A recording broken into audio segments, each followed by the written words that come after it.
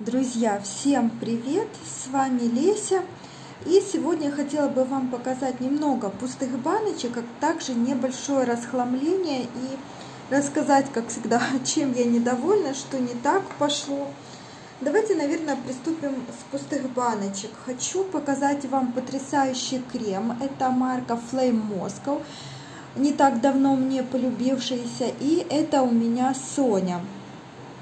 Интересное сочетание кожа, табак, мускус, черный перец, черный чай, амбра, сандал, кедр, пачули. Здесь 50 миллилитров, достаточно большой объем, металлическая туба. Можно выдавить все до конца. Крема от Flame Moscow сами по себе, мне кажется, они одинаковые. Единственное, по аромату отличается. Это наш нишевый бренд. Могу сказать, что крема супер шикарные, они увлажняют, они питают, э, просто реанимируют ручки, ручки такие ухоженные, мягенькие становятся. При этом абсолютно нет никакой липкости, жирности, а, никаких таких странных эффектов и впитывается, ну, он не то чтобы сильно быстро, но и ждать полчаса тоже не приходится. Если немножко нанести и ну, вам нужно работать там с бумагами, с гаджетами, чтобы жирные пятна, да, не оставлять, то можно совсем немножко нанести, тогда он моментально впитается. Если вам нужно уже так сильно подпитать руки, то ну, придется несколько секундочек подождать. Шикарный крем. Единственное, аромат здесь совс... Э, ну, не совсем мой. Мне больше понравился крем Мари. Вот Мари я прям хочу и гель для душа купить, и крем для рук повторить. Ну, меня просто этот аромат безумно зацепил. А Соня, он интересный, у них все ароматы интересные, и мне, как не парф-маньяку, достаточно сложно их описать. Могу сказать, что этот крем а, мне больше как бы мужской какой-то запах напоминает. А, здесь я чувствую какие-то травы, горчинку. А, ну, тяжело описывать, ну, немножко не мое. Я бы вот этот запах не повторяла. Интересно по запаху, необычное сочетание, сложно, но не мое. Ну, конечно же, я использовала его до конца. Так, эм, далее закончились у меня патчи Stellary Skin Studio. А, здесь у нас 30 штук, то есть это 15 пар. Я их, в принципе, делала и утром, и вечером. Гидрогелевые патчи для глаз против морщин и отеков. Ну, наверное, да, легкое-легкое все-таки разглаживание от них есть, но не глобальное. Скорее, это просто патчи как патчи, я бы так сказала, немножко так освежить привести в тонус кожу. Э, изначально в них очень много жидкости, и нужно прямо эту жидкость, жидкость хорошо стряхивать, иначе эти патчи будут э, скользить и мигрировать по всему лицу. Ну, если жидкость стряхнуть, э, и потом уже, когда останется там половина патчи, то, в принципе, они не скатываются, все хорошо. Стоимость э, не столь дорога, но стоит учитывать, что здесь э, всего 15 пар получается. В принципе, нормальные патчи, приятная упаковка, не успеет надоесть. Иногда, знаете, какую-то здоровую пачку купишь и думаешь, блин, я бы уже и другие патчи купила, попробовала, они все не заканчиваются. Тут раз-два и все, и нету. Ну, в принципе, хорошее положительное впечатление. Но, как мой муж говорит, э, я фанатка Стеллари. Не знаю, с чем это связано. У меня достаточно редко на канале вы можете увидеть марку Стеллари, просто потому что у меня нет рядом магнит косметика, я не бываю вообще. Э, где я бываю, я вообще его ни разу не видела, серьезно. Я живу в Москве, езжу в разные части города, да, в разные направления, но я ни разу не встречала магнит. То есть на старом месте, где мы жили, он был в минутах так 30 ходьбы от нас. И все, я... ну и, конечно, девчонки, вы понимаете, что я не буду специально из-за магнита тратить полдня, чтобы куда-то ехать, выискивать его и смотреть его ассортимент. Нет, конечно, я таким заниматься не буду. Это я заказывала доставкой.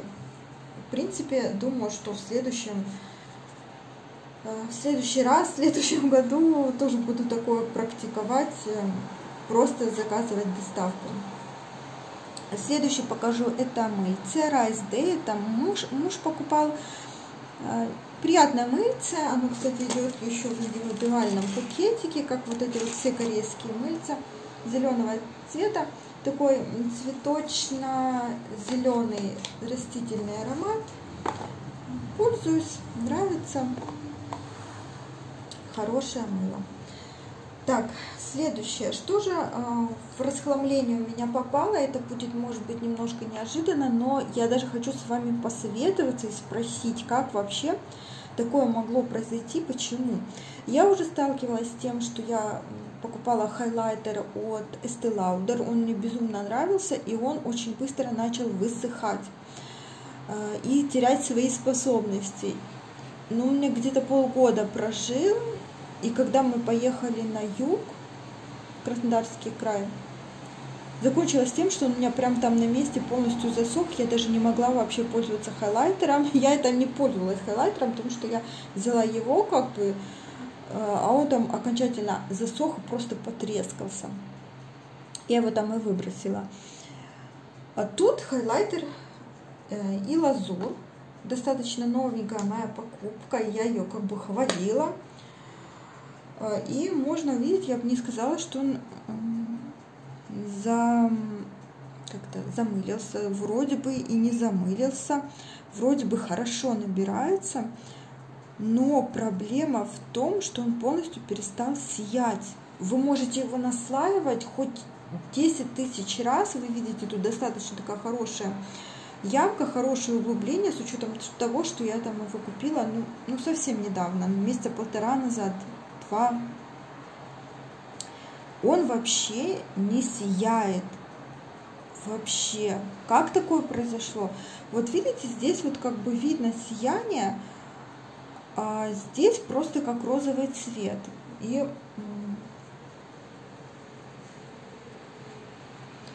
вот так вот выглядит. Он э, какой-то суховатый, но это я изначально заметила, что он прям такой, знаете, суховатый. Но он набирался хорошо, и было такое не, не тумач свечение, не вау у вас из космоса видно, но такой приятный, холодный хайлайтер, который заметно. Сейчас его вообще не видно. Вообще. То есть просто у меня видно на лице какие-то слои косметики, которые я пытаюсь наслоить, да, естественно, это уже все смотрится некрасиво, просто потому что если накладывать 100 тысяч слоев, эти 100 тысяч слоев рано или поздно э, невооруженный взгляд заметит, и ну просто я не вижу смысла им пользоваться. Почему так произошло, как так произошло, я даже не могу сказать. Ну, нет смысла им пользоваться, потому что его просто вообще не видно. Очень жаль, потому что я как-то и косметикой, и лазур заинтересовалась, и упаковки у них красивые, хайлайтер я, в принципе, приобрела достаточно бюджетно. Но мне девочки, кстати, писали об этой косметике, что она ничего такого вау не представляет из себя, что в основном как бы там деньги буханы в упаковку, но мне изначально этот хайлайтер очень понравился, он так красиво, благородно смотрелся на лице, его было заметно, но сейчас я вообще ничего не вижу. Я вот вчера стояла, наслаивала, наслаивала, наслаивала его, я не вижу вообще сияния, то есть его вообще нет никакого. Очень жаль. А, следующее это Russian Beauty Guru, якутские бриллианты, тени жидкие, вы видите, да? Вот так вот я их хорошенечко так подюзала. Можно даже сказать, что если бы я на них подналегла, возможно, я бы их до Нового года закончила, но, честно, мне надоело с ними возиться. Они у меня как-то летели в расхламление сразу после того, как я их купила, потому что, во-первых, там неудобный вот этот вот спонжик, он очень э, острый, как? Он очень твердый. Кстати, я тут сняла даже ограничитель, потому что ограничитель, а, эта палочка какая-то короткая, и стоял ограничитель, невозможно было уже продукт как бы достать. А, хотя его там было много, половина. Поэтому я сняла и как бы пользовалась без ограничителя. Вот такой вот красивый цвет, голубой, на самом деле он с розовым, как бы, с розовым доохромом. То есть я надеюсь, что будет видно. Если вот так вот преломление как-то споймать, даже сиреневым каким-то. Очень красиво. Но этот э, тени, после того, как я начала, знаете, читать э, обзоры на эти тени, все их ругают, что неплохо разносятся. Действительно, такое впечатление, что это какой-то как клей э, ПВА белый, разведенный краской. Хотя здесь этого не видно. Он полосит, он пятнит. Они, тени, не клей.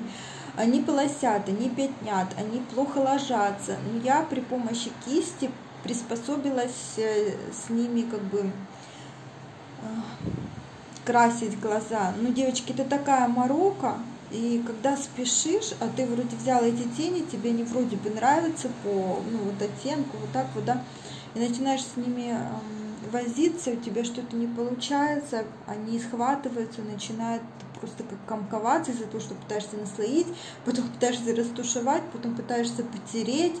В общем, привести это как-то все в божеский вид какой-то, но вчера была последняя капля, потому что я спешила, и ребенок меня ждал, в общем, э, и получилось так, что я на просто вот на тени потратила какие-то сумасшедшие, не знаю, полчаса, наверное, пока их то нанесла, то растушевала, то там пятнит, там потерла. Короче, это какая-то вот морока такая, а, что если вы хотите именно краситься, вам реально нужно полдня свободного. Поэтому мне просто уже лопнуло терпение. А, и иногда вроде бы более торопишься, понимаешь, что ты побежала, и выглядит это все несуразно, некрасиво, Плюс они достаточно такие заметные, и на них будут видны косяки. То есть это не то, что там полупрозрачные, еле, еле душа в теле тени, которые там даже если что-то как-то не так, никто не заметит даже.